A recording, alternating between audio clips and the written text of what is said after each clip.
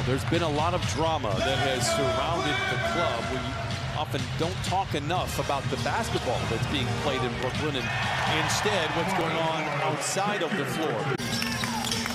Drives on Claxton, swivels at the dotted line, finds Morris. Jousting with his defender, flicks the wrist from downtown and rips the cords. Difference from last year to this year. One out of two. Powell picked up by Curry, coming off of ankle surgery. Had his best game of the season against the Knicks the other day. George, a step away. It's good. The first bucket for Paul George.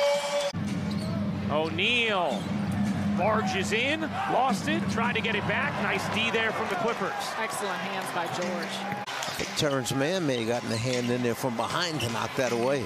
Terrence has really come back into it for the Clippers. George mid-range once again over Curry. Once again the same result.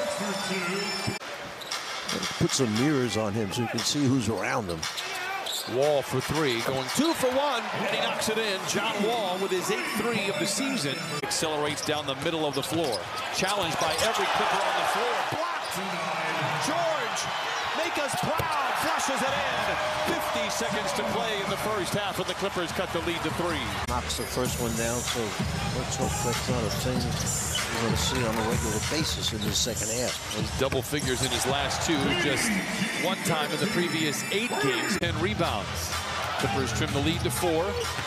Claxton waltzes down the lane, tough shot inside. Re Morris, ball fake on O'Neale, dribble drive into the paint.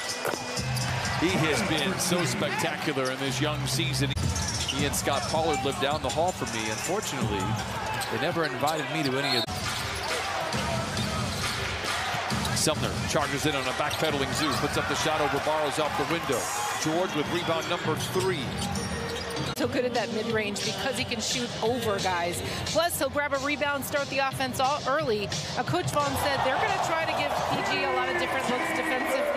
Uh, they were hoping that KD's... Paul George just 5 for 18 here this afternoon. Durant into Claxton. Acrobatic shot dismissed at the peak of his leap.